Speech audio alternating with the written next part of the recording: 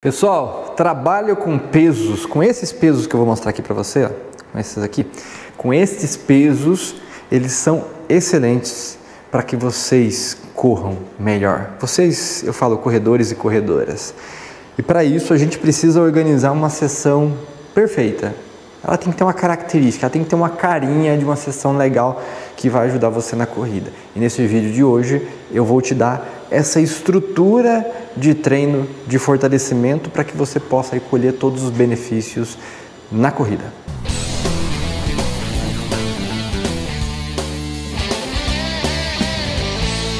Antes de mostrar para vocês essa sessão de fortalecimento perfeita, eu quero falar um negócio para vocês. Tá vendo isso aqui, ó?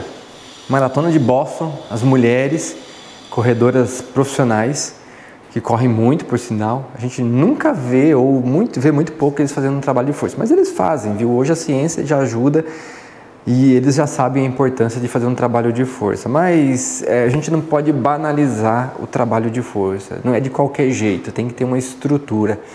E neste vídeo eu vou passar essa estrutura para vocês neste quadro branco aqui. Então tem que pegar uma caneta aqui e alguém vai ter que me ajudar. Eu acho que vai ser a Stephanie vai me ajudar aqui. Stephanie, se me ajuda aqui? Nós vamos fazer o seguinte, eu vou mostrar para vocês aqui e é, depois eu mostro na prática um, os exercícios específicos de força para vocês. Essa estrutura de treinamento de força, ela vai ter para que vocês possam correr, não igual o pessoal que está correndo aqui, essas mulheres que estão correndo aqui. Stephanie, pode ficar ali. Isto. É, mas para que você possa aproveitar a corrida, você provavelmente precisa muito mais do que eles, porque muitas vezes o teu corpo não é tão bem condicionado quanto elas. Então a gente vai mostrar aqui nesse quadro, deixa eu virar aqui para que fique. Pode ficar aqui, Stefan, se você quiser. A gente empurra a mesa aqui. Ai, e tudo ao vivo. É isso. Cuidado com o fio aqui, porque tá uma, tá uma gambiarra aqui. Então vamos lá. Essa estrutura tem que ter caixinhas. Né? Vamos colocar aqui a primeira caixinha para a sessão. Não estou falando só do exercício, tá? Para a sessão de treino de forma geral. Ela tem que ter um começo e ela tem que ter um fim. Então nós vamos colocar aqui ó, um trabalho de mobilidade. Pode chegar pertinho aqui, tá, Stephanie? Mas você vai falar assim, como que é esse trabalho de mobilidade? Simples, Postigo, nosso amigo editor, né, Postigo, você é muito gente boa, ele vai fazer o seguinte, ele vai colocar aqui em cima na descrição um vídeo de mobilidade que eu fiz aqui no nosso espaço que vocês podem fazer esse trabalho de mobilidade antes de um treino de força. É necessário? Não é necessário, mas para a maioria das pessoas que precisam ali trabalhar mobilidade, porque tem um pouco de restrição, esse vídeo vai ajudar bastante e eu posso falar para vocês, é legal fazer, viu gente? Coloca na rotina de vocês. Aí depois do trabalho de mobilidade, a gente vai ter uma outra caixinha, que é um trabalho que eu gosto de fazer muito no começo, principalmente para você que não tem estabilidade, que é estabilidade do quadril e do tronco, do core que a gente conhece. Corredores e corredoras, vamos pegar aqui, Stephanie, vamos pegar as corredoras aqui. A gente vai ver o balanço do quadril delas. Agora a imagem está longe, espera aí. Vamos aparecer aqui. A gente vai ver a imagem do quadril delas, muitas vezes aquele quadril flutuando, né, instável, que pode ser causas de lesões. Por exemplo, pode ser uma causa de lesão. Se você tem essa dificuldade de estabilizar o quadril, ah, já tive uma lesão no joelho, já tive uma lesão na canela, trabalhar exercícios, não vai aparecer agora, tudo bem, mas vamos lá.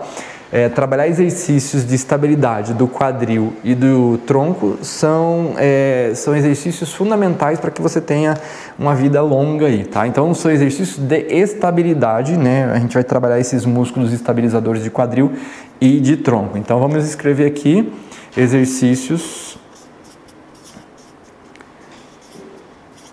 de estabilidade.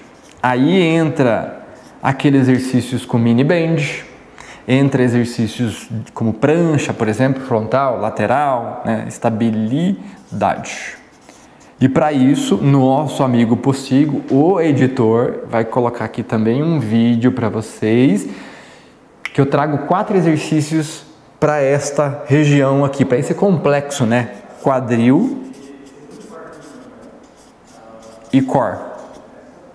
Por sinal, acho que foi você que me ajudou nesse vídeo, né, Stephanie? Então, postigo coloca aqui pro povo. Se não tiver aqui no alto, vai estar tá na descrição, vai estar tá aqui em algum lugar. Beleza, então temos um primeiro bloco, um bloco, segundo bloco de exercício de estabilidade, quadril e core, e aqui a gente vem com um bloco bem interessante. Por quê? Estes corredores, agora só tá os cadeirantes aqui. Os corredores, nós, corredores e os corredores profissionais, precisam de trabalhar o mecanismo elástico de músculo e tendão principalmente. E aqui entra exercícios pliométricos. Pliométricos. Mas que diabo que é isso, Stephanie? Você sabe o que é, Stephanie? Fale para mim, Stephanie. Saltos. Saltos. Aí é o seguinte, a gente faz uma mágica de edição postigo. Eu vou continuar falando aqui e a gente vai entrar agora mostrando para vocês uma sugestão de dois, dois exercícios de salto para que vocês possam ver. Um, dois, três, lá. Vamos à prática aqui, dois exercícios de salto. O primeiro é o seguinte, vocês vão partir dessa posição, dobrado aqui o quadril. A gente parte dessa posição, bracinho para trás, salta e amortece. Este é o primeiro exercício. O segundo exercício a gente faz agachando e saltando em seguida, sempre fracionado. Eu agacho, qual que é a diferença? A diferença é que aqui eu não uso energia elástica. E quando eu desço e salto, eu uso energia elástica, ou seja, eu salto mais alto no segundo. Beleza? Voltamos aqui. Vocês viram a sugestão de exercícios pliométricos saltos para que vocês possam colocar na sessão de vocês.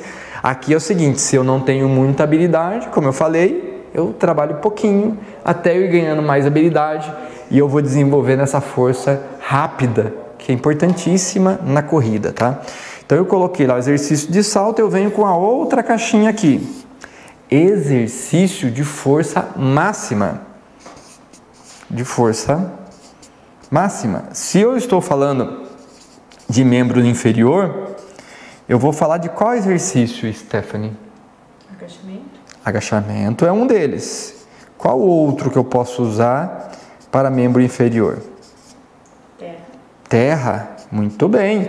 E nós temos levantamento terra, tá, gente? Deadlift, como é conhecido no CrossFit.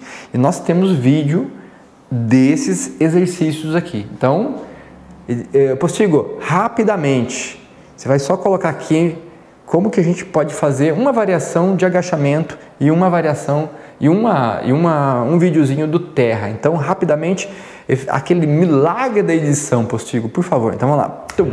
Stephanie vai mostrar pra gente, a gente ficar mais ou menos uns três dedos da barra. Percebam aqui, uns três dedos da barra.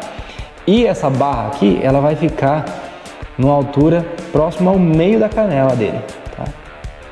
Próximo ao, meio. Aí o que acontece? Ele vai descer ele vai segurar na barra. Agora a Stephanie vai mostrar de frente onde ele vai mostrar onde ele vai segurar. Então ele segura aqui na posição que o braço dele fica ao lado dos joelhos, ao lado dos joelhos. Os ombros vão ficar puxados para trás e vejam, ó, tá segurando e apertando bem aqui a barra. A pegada bem firme, pegando bem forte a barra. Puxa o ombro, olha lá para frente. Para mim, Robson, mantém essa posição aí, mantém essa posição. Vem aqui de lado agora. Agora de lado, Detalhe muito importante. De lado a gente tem que ver isso aqui, ó. O quadril dele entre o ombro e entre os joelhos. Então a gente vê esse triângulo aqui. Puxa o ombro para trás, deixa bem forte essa musculatura aqui. Duas horas depois, deixa bem forte trava o tronco, né? essa é a postura de saída, para ele poder tirar a barra do chão. Ele nunca vai dar o tranco, ele vai sempre puxar o corpo e vai sentindo a barra, vai sentindo o peso da barra nas mãos. E agora ele vai puxando, vai esticar o corpo. Vamos lá, sobe. Isso. Chegou nessa posição aqui, se a gente está fazendo terra tradicional, o que, que vai acontecer? Vai soltar a barra, ou ele vai descer muito rápido. Desce rápido, sem segurar, desce rápido. Isso. Aí ele para a barra no chão, faz esse barulho mesmo, viu, gente? Apoiar a barra aqui, não é em cima da cervical, é exatamente no músculo, tá? Aí eu afasto as pernas, a posição da mão, dou um passo para trás para não bater ali, posiciono. Lucas, mostra para mim agora aqui a posição do meu cotovelo aqui. Ele vai ficar bem verticalizado, viu, pessoal? bem verticalizado, eu seguro a barra, mas sem fazer muita força. Eu estou apoiando ela, na verdade, em cima do meu tronco. E daí eu agacho. Até eu chegar aqui. Cheguei aqui, subo.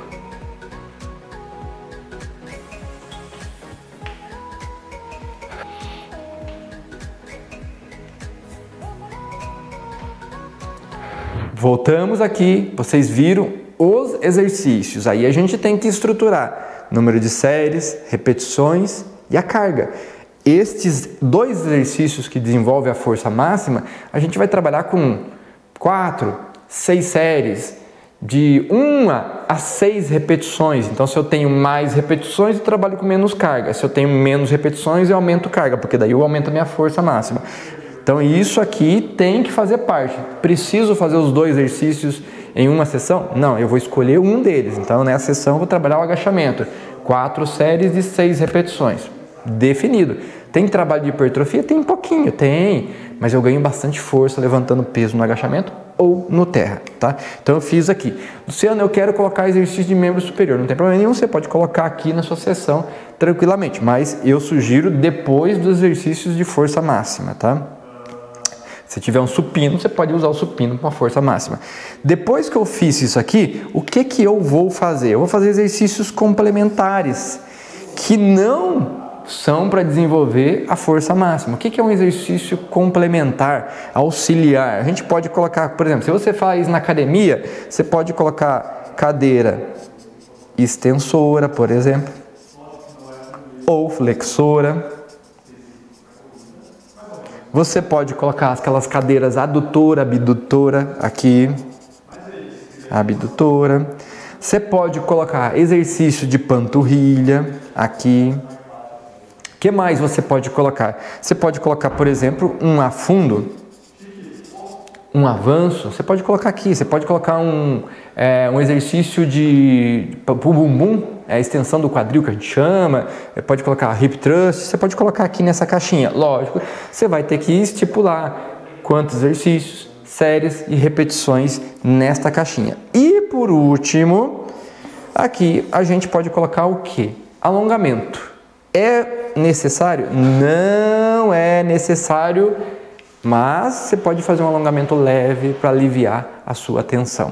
Então nós temos aqui uma estrutura de um treino perfeito para fortalecimento. Você vai falar assim, nossa, mas é bastante coisa. Não é bastante coisa. Porque vamos dizer que você faça um trabalho de mobilidade que dure 10 minutos, que já é bastante tempo. Você faça aqui exercícios, essa sequência de fortalecimento que o Postigo colocou aqui. Vamos dizer que você gaste aqui uns 15 minutos, porque essa é uma sessão mais dinâmica, não, você não precisa ficar parado, demorar muito tempo. Aqui, exercício de salto, gente, a gente vai fazer o quê? Umas 3 a 4 séries com 6 repetições, tranquilo. Né? Aqui eu vou escolher um exercício para eu fazer de força máxima que vai ter 4 séries de 6.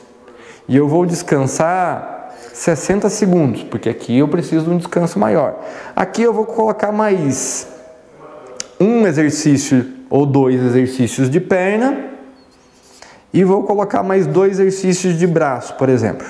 E por fim, um alongamento leve aqui de 5 minutos. Então eu vou ter aqui uns 45 minutos, 50 minutos se você não ficar olhando para o seu celular durante o treino, se você não fizer aquela selfie, se você não fizer aquele vídeo, gente, não tá fácil esse treino. Então, e a Stephanie, agora que eu reparei que a Stephanie ficou na frente da luz, né, Stephanie? Vem um pouquinho para cá, ó. Eu fiquei sem luz, você tirou minha luz, Stephanie. Eu não brilhei, eu não brilhei neste vídeo, Stephanie. Eu tô passada, chocada. Meu Deus. Jesus. Então, essa sessão aqui, gente, é 40. Gente, e deu um defeitinho nessa parte do vídeo aí, mas eu tava dizendo para vocês que é um treino de 40, 45 minutos, 50 minutos no máximo, sem enrolação, direto e reto para que você possa melhorar a sua força muscular né, e de fato ter todos os benefícios do trabalho de força, de fortalecimento. Valeu? Curte esse vídeo, compartilhe com os amigos. Se você não está inscrito, se inscreva e até mais.